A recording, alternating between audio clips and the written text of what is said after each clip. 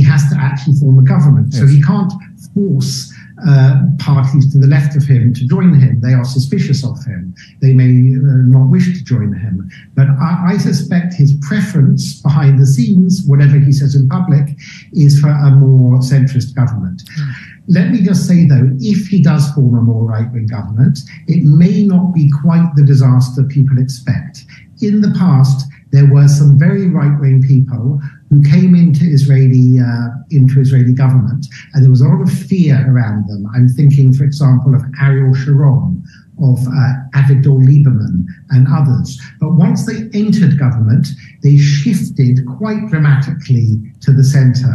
So it's not impossible that even though the right wing party has fiery rhetoric, the nature of politics, especially in coalition government, is compromised, and those previously very right wing politicians may shift and not quite be as sort of belligerent as uh, many people fear they might be. Well, let me throw a, name into the ring, and forgive me if I pronounce it incorrectly. Um, Itamar Ben Gvir, uh, who's. Ben Gvir. Uh, can, can you say again?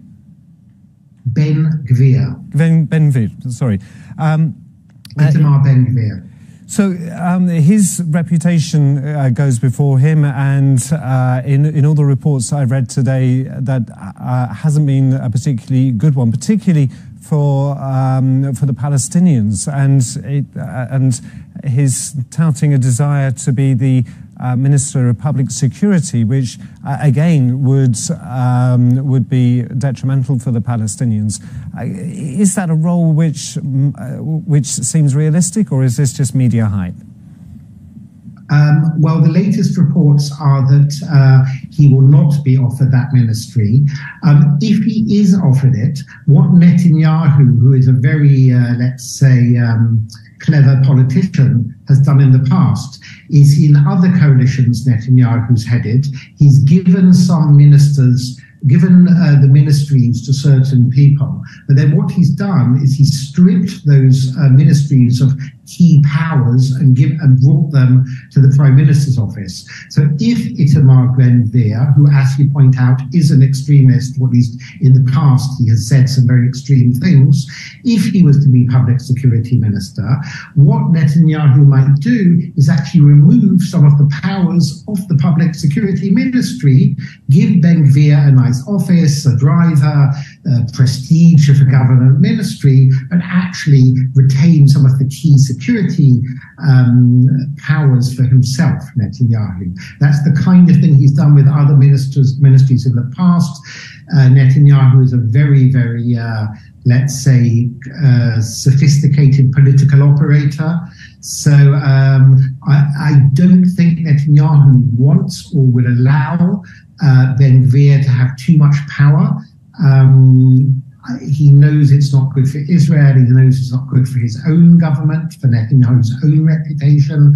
I don't want to belittle the risks, but my hunch is some of the more alarmist uh, uh, forecasts today in the media and among opposition politicians may be overly exaggerated. That's my hunch. And I say that also based on the fact that, for example, in the outgoing government in Israel, we had a seven party coalition. You also had two rather extremist parties. You had Yamina, which was the, the party on the right of Likud, and you had Ra'am, one of the Arab Israeli, Palestinian Israeli parties that's affiliated with the Muslim Brotherhood. But in government, Ra'am were not radical at all. They didn't push any kind of Muslim Brotherhood type positions and policies that they previously adhered to, and nor did the right wing party Yamina. Once in government, they shifted to the center, they acted more responsibly. So we do have a track record of more belligerent uh, extremist politicians moderating themselves in this coalition system in Israel.